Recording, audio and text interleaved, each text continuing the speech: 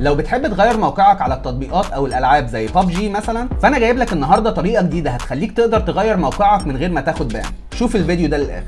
السلام عليكم ورحمة الله وبركاته. ازيكم يا شباب؟ يا رب تكونوا كلكم بخير. أهلا وسهلا بيكم في فيديو جديد مع هيثم معوض على قناة كوكب التكنولوجيا. ناس كتير طلبت مني شرح لطريقة تغيير الموقع في الألعاب أو في التطبيقات. وأنا بعد بحث كتير قدرت أوصل للطريقة اللي هتخليك تقدر تغير موقعك على الألعاب من غير ما تاخد ban وبطريقة آمنة جدا. هقول لك النهارده إزاي تقدر تعمل كده خطوة بخطوة وبطريقة سهلة جدا. فلو أنت مهتم باللي إحنا هنقوله خليك معانا لحد آخر الفيديو. بس قبل ما نبدأ ما تنساش تنزل تعمل like و subscribe للقناة وتفعل زر الجرس عشان يوصلك مننا كل جديد. مش هطول عليكم أكتر من كده؟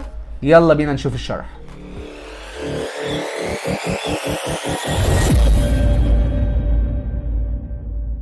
أهلا وسهلا بيكم مرة تانية على قناة كوكب التكنولوجيا. عشان تقدر تغير موقعك أول حاجة هتحتاج تعملها هتثبت التطبيق اللي سايب لك الرابط بتاعه في وصف الفيديو. وبعد ما تثبته على الكمبيوتر هتفتحه هيفتح معاك بالشكل ده. أول مرة هتستخدم فيها التطبيق هيطلب منك إنك توصل الموبايل على الكمبيوتر باستخدام ال USB. بس بعد كده هتقدر تستخدم التطبيق من خلال الواي فاي من غير ما توصل ال USB. بس طبعا لازم يكون الموبايل والكمبيوتر متوصلين على نفس الواي فاي. بس قبل ما توصل الموبايل لازم تفتح تصحيح أخطاء ال USB من خيارات المطور. وده بيكون من خلال إنك بتفتح الإعدادات وبتروح على حول الهاتف وبعدين جميع المواصفات وتيجي على إصدار MIUI تدوس عليه حوالي 10 مرات. لحد ما يكتب لك أنت الآن أصبحت مطورا. بعد كده بترجع وبتروح على الإعدادات الإضافية وتنزل لتحت خالص وتفتح خيارات المطور. وطبعا لازم تتأكد إن تصحيح أخطاء ال USB متفعلة وتثبيت عبر ال USB. بعد كده هتوصل الموبايل بال USB وترجع للكمبيوتر عشان تدوس على موافق. هيبدأ يحمل عشان يعمل عملية التوصيل ولما يخلص هيظهر لك الاختيارين دول. وبالمناسبة التطبيق فيه mode مخصوص للعبة Pokemon Go وال mode التاني بيكون خاص لأي لعبة أو تطبيق. فلو أنت مثلا عايز تغير موقعك على ببجي هتختار ال mode ده. هيبدأ يحمل فهترجع تاني لخيارات المطور من على الموبايل. وهتفتح تحديد تطبيق الموقع الوهمي وهتختار GPS Assistant وكده يبقى أنت عملت كل الإعدادات المبدئية والتطبيق جاهز للاستخدام. هترجع تاني للكمبيوتر وتستنى لحد ما يخلص تحميل وبعدين هيفتح لك الخريطة بالشكل ده. من هنا هتقدر تعمل بحث على أي مكان أنت عايز تروحه أو تقدر تتحرك في الخريطة عادي جدا. ومن هنا هتقدر تختار طريقة التنقل بين المواقع. طبعا أنا موقعي دلوقتي في مصر فممكن مثلا أجرب أغير موقعي لدبي. فهاجي هنا في البحث وهكتب كلمة دبي وبعدين هدوس على تأكيد. بعد كده هروح على الموبايل وهفتح الخرائط هلاقي إن الموبايل شايف إن أنا فعلا في دبي. أكتر ميزة عجبتني في التطبيق ده إنك تقدر تغير ال location بتاعك أو تتحرك بال location بتاعك زي ما أنت عايز. فتقدر مثلا تختار طريقة الانتقال بين نقطه ونقطة أو أكتر من خمس نقط. كمان تقدر تختار سرعة التحرك عشان تظهر كأنك بتتحرك بعربية أو ماشي على رجليك.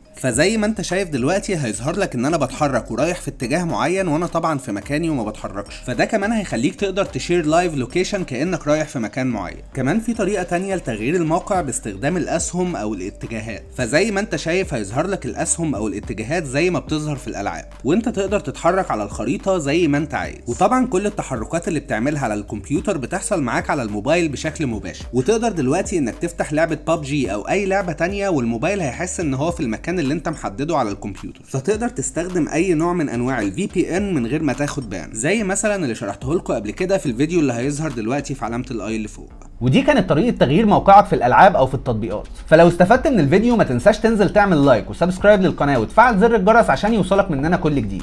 قبل ما أقفل الفيديو كنت عايز أقول لك ما تنساش تتابعني على صفحة الفيسبوك اللي سايب لك الرابط بتاعها في وصف الفيديو. وكمان كنت عايز أشكر كل أصدقائي اللي بيكتبوا لي تعليقات إيجابية. وكده يبقى إحنا وصلنا لنهاية الفيديو. فلو استفدت من الفيديو ما تنساش تنزل تعمل like و subscribe للقناة وتفعل زر الجرس عشان يوصلك مننا كل جديد. بشكركم جدا لاستماعكم وبتمنى أكون فدتكم. والسلام عليكم ورحمة الله وبركاته.